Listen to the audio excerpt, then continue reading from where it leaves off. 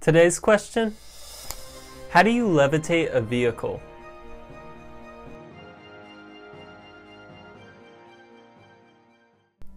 Levitation may sound difficult, but it's not that bad.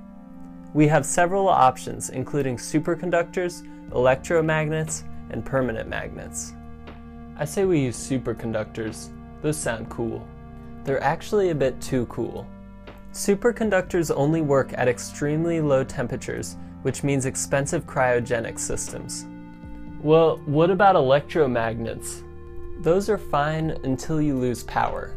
Keep in mind, a vehicle in the Hyperloop may be traveling around 700 miles per hour, and a loss of levitation at that speed would probably destroy the vehicle. But permanent magnets are boring. Do you want to ride in a Hyperloop or not? Yeah, I guess. Then listen up. The system with the most promise is called Inductrack.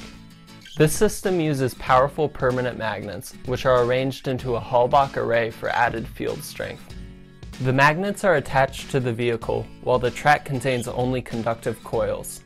At rest, the magnets provide no lift force, but when the vehicle starts moving, the coils in the track are exposed to a changing magnetic field. This induces strong electrical currents in the coils. These currents produce a magnetic field that opposes the permanent magnets, resulting in levitation. This may seem too good to be true, but there is a catch. If the coils in the track are not superconductive, they will have a small amount of resistance to the current flowing through them. This means that any current flow will increase the temperature of the coils. The energy to heat up the coils must come from somewhere, and it turns out that somewhere is the vehicle's kinetic energy. We call this magnetic drag. Wait, but doesn't drag increase with the square of velocity? How could we ever use this for high-speed transportation? Actually, this type of drag decreases with higher speeds, making it perfect for tube travel. I have a pacemaker. Is that gonna be a problem? Nope, not an issue. The magnets on each pod form a Halbach array, which strengthens the field on the track side and cancels it out on the vehicle side.